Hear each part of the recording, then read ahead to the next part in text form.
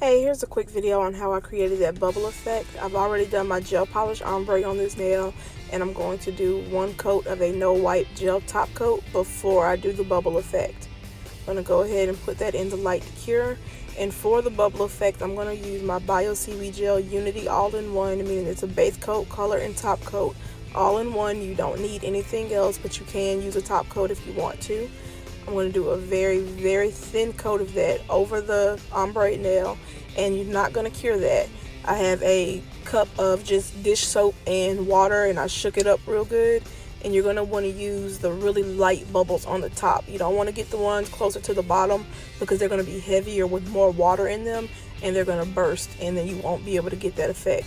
So you need a really good coating of the bubbles on there and the more you have on there like it's better if it comes out and it still has bubbles on it. You know you had a good amount of light airy bubbles. And so I really should have gotten a spoon but this was kind of an impromptu recording so I didn't feel like getting up to get a spoon.